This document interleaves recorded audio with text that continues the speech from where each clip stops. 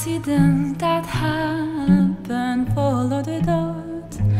Coincidence makes sense only with you. You don't have to speak i